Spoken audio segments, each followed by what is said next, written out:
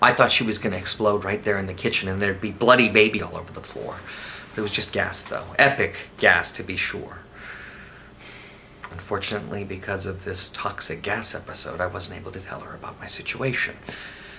And how I needed to keep my job. She just wouldn't understand, though. I mean, women never do. Every relationship gets to that point where the woman thinks, oh, he had to have changed. Since day one, they've been indoctrinating us with special codes, new programming, adjusting our settings so that we operate perfectly for them. But that stage is just an illusion. Ultimately, the woman realizes that the, the guy is just never going to change.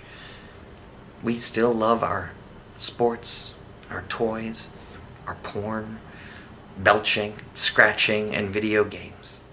Okay, we still want our big screen television with full high definition picture and sound, an NFL season ticket, and we want our fantasy baseball league.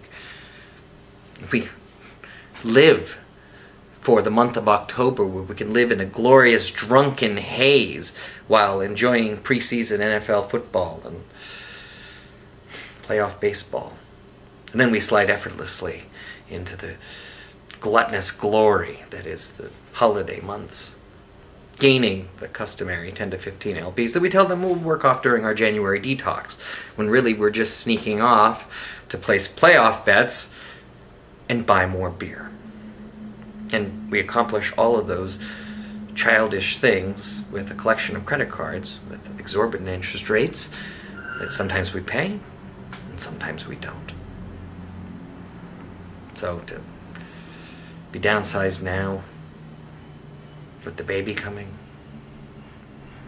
it's a really bad time.